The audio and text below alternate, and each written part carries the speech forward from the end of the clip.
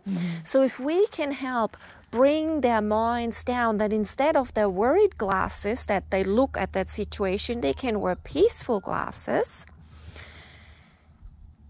There can be what's called realization learning. So they can suddenly see that which freaked them out before, which they thought this is the monster that surely is gonna eat them actually it's just a trailer and there's some food in there and I could just walk in there.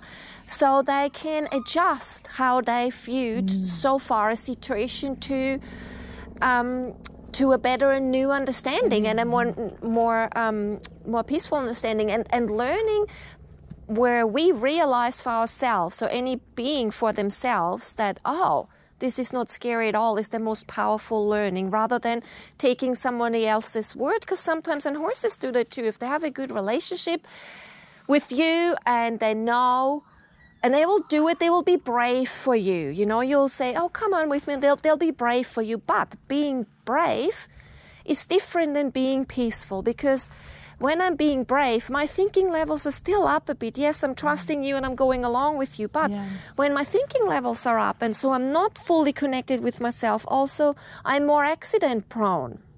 Right. If though on the uh, uh, at the other hand you could help me to feel peaceful, so I don't have to take your word for it, but I've actually realized for myself I'm completely safe. And this is fine, or maybe even fun.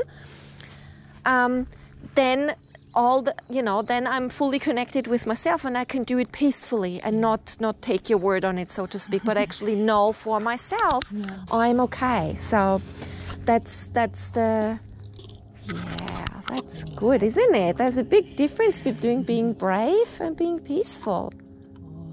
Yeah